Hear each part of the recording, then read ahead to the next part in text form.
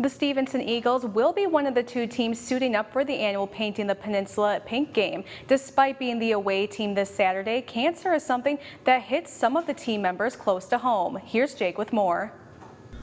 When the Stephenson Eagles take the field this Saturday for the Paint the Peninsula in Pink game against the Gogebic Miners, they will be playing for much more than a victory. Hearing that um, it makes me very proud to be able to be a part of that. Uh, that's a big thing. It's touched our families and a lot of the families here on the team.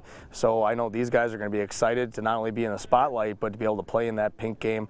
Stephenson head coach Logan Carlson knows firsthand the impact cancer can have on families.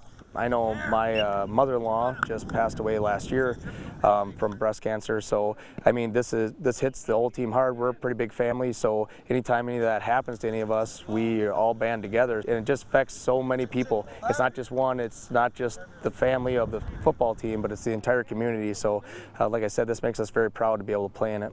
Senior running back Kanan Elson will be taking the field for his mother. Recently, I got the news my mom got cancer, and it's it's not the best thing, and I don't want anybody to have to go through that. So I'm I'm kind of happy that we're doing this, and hopefully it raises enough money and helps some people get through things.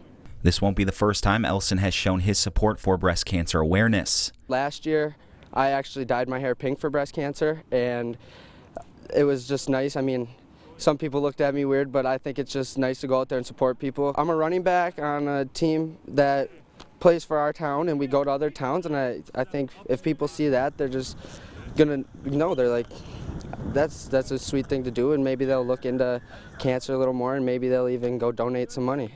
And just like the sport of football, no one person can do it alone. Everybody is always on my back. I mean, I had to skip out on one practice and the whole team came forward and gave me a hug and they offered any help at all to give gas money to drive my mom down to the surgeries or just anything. They're always there for me, and it's, it's the best thing ever just to have people on my back.